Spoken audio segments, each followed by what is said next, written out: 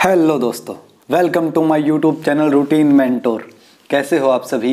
आशा करता हूँ अच्छे हो गए आज की वीडियो में हम बात करने वाले हैं चौधरी देवीलाल यूनिवर्सिटी सिरसा, जो नैक के द्वारा एग्रीगेटेड है बी ग्रेड की यूनिवर्सिटी।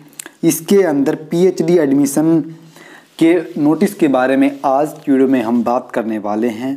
आज पीएचडी एडमिशन नोटिस 2021-22 के लिए सी यूनिवर्सिटी ने अपने एप्लीकेशन फॉर्म्स निकाल दिए हैं। कि इसके अंदर आपको बताया गया कि ऑनलाइन एप्लीकेशन आर इनवाइटेड आपको इनवाइट किया गया है पीएचडी प्रोग्राम के लिए, जिसके अंदर आपका biotechnology chemistry environment science food science mathematics physics business administration commerce computer science engineering economics education English mass communication law physical education public ad के जैसे सब्जेक्ट के अंदर चौधरी देवीलाल यूनिवर्सिटी सिरसा का जो सेशन 2021-22 का रहने वाला, उसके लिए एप्लीकेशन फॉर्म जो आपके 28 जनवरी 2022 से ओपन हो चुके हैं और आप 17 फरवरी 2022 तक आप इसके अंदर आप अप्लाई कर सकते हैं।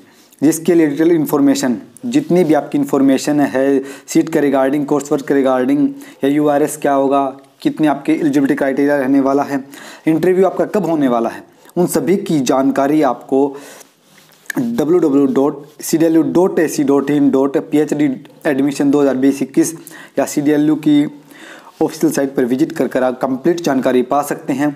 उन्हीं के रिगार्डिंग आपको यहाँ बताया गया है। और जो फॉरेन के स्टूडेंट हैं, उनके लिए कोई एंट्रेंस एग्ज़ाम नहीं होने वाला है। आगे हम आपको इसके बारे में बताते हैं। ये एक पब्लिक नोटिस जो आपको दिया गया है, जो इंडियन फॉरेन स्टूडेंट के लिए है, जो पीएचडी प्रोग्राम आपका 2021-22 का रहने वाला है, ये public notice C D L U admissions dot A dot in पर आप जैसे ही विज़िट करते हैं, वहाँ पर आपको पीएचडी के रिगार्डिंग इस नोटिस के रिगार्डिंग कंप्लीट जानकारी मिल जाएगी, वहाँ से आप इसके बारे में जान सकते हैं। आगे हम आपको एक पर शेड्यूल बताने वाले हैं कि आपका जो पीएचडी एडमिशन 2021-22 का रहने वाला है, उसकी last date of submission on of online application form along with fee fees के साथ आपकी 17 फरवरी 2022 तक आप इसमें अप्लाई कर सकते हैं। जो आपका शेड्यूल ऑफ़ एंट्रेंस एग्ज़ाम रहने वाला है, वो 20 फरवरी को आपका एग्ज़ाम होगा। पहली शिफ्ट आपकी 10 से साढ़े ग्यारह मॉर्निंग में होने वाली, जिसके अंदर आपका English mass communication commerce economics public ad law business administration computer science का एग्ज़ाम होने वाला है। और सेकंड शिफ्ट साढ़े बारह से दो इवनिंग में होने वाली है जो आपकी physics, chemistry EVS food science biotechnology mathematics education physical education का आपका एंट्रेंस एग्ज़ाम होने वाला है। जो आपका एंट्रेंस का टेस्ट है, वो 21 फरवरी को आपका इशू कर दिया जाएगा।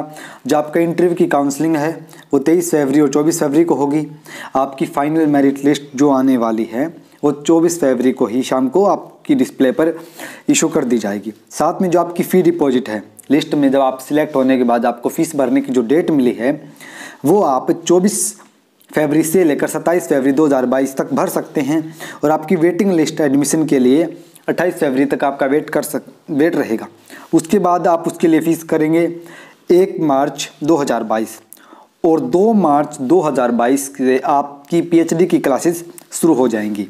और जो फॉरेन के स्टूडेंट हैं, उनके लिए इंटरव्यू की काउंसलिंग डेट 19 फरवरी और 21 फरवरी रहने वाली है। उनकी फ़ीस डिपॉजिट करने की लास्ट डेट एक मार्च 2022 रहने वाली है। इन डेट्स के हिसाब से आप पीएचडी में अप्लाई कर सकते हैं। आगे हम आपसे बात करते हैं कि डिपार्टमेंट वाइज कितनी सीट वैकेंट हैं। सबसे पहले है, यहाँ पर डिपार्टमेंट्स टोटल सीट कितनी है? ऑल इंडिया के अंदर आपकी रैंक कितनी है? और हरियाणा कैटेगरी के अंदर आपकी कितनी सीट वैकेंट है? सबसे पहले बायोटेक्नोलॉजी बायोटेक्नोलॉजी के अंदर टोटल 11 11 सीट वैकेंट हैं, जिसके अंदर ऑल इंडिया की दो सीट और हरियाणा ओपन की चार सीट डीएससी की एक सीट एससी की एक सीट बीसी की एक सीट बीसी बी की एक सीट ईवीएस की एक सीट मतलब 11 टोटल सीट आपकी बायोटेक्नोलॉजी के अंदर है पब्लिक एड के अंदर आपकी टोटल चार सीट रहने वाली हैं। केमिस्ट्री के अंदर आपकी तीन सीट रहने वाली हैं। कॉमर्स के अंदर टोटल आपकी दस सीट्स हैं, जिसके अंदर ऑल इंडिया की एक सीट है। हरियाणा ओपन के अंदर चार सीट हैं। डीएससी और एससी की एक एक सीट और B C A B C B E W S की भी एक एक सीट आपको दी गई है। कंप्यूटर साइंस के अंदर आपकी चार सीट हैं। इकोनॉमिक्स के अंदर आपकी चार सीट हैं।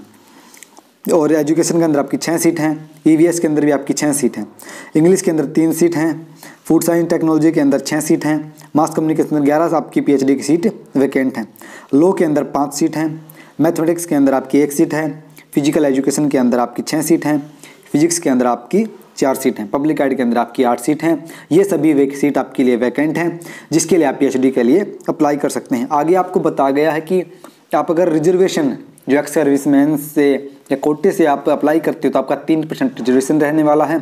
साथ में जो रिजर्वेशन पॉलिसी गवर्नमेंट की तरफ़ से दी गई है, लागू होने वाली है और उसी के हिसाब से आपको वहाँ सेलेक्ट किया जाएगा।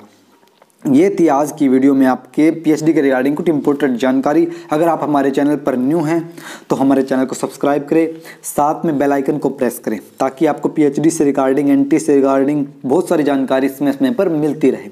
और इसके रिगार्डिंग आपको एंट्रेंस के सिलेबस के बारे में, इसके एडमिट कार्ड के बारे में एग्ज़ाम्स के बारे में कोई भी जानकारी चाहिए तो तो आप सी की ऑफिशियल पर विज़िट कर सकते हैं। वहाँ से आप कंप्लीट इसके बारे में जानकारी ले सकते हैं। आज की वीडियो में इतना ही। वीडियो में अंत तक बने रहने के लिए आपका धन्यवाद।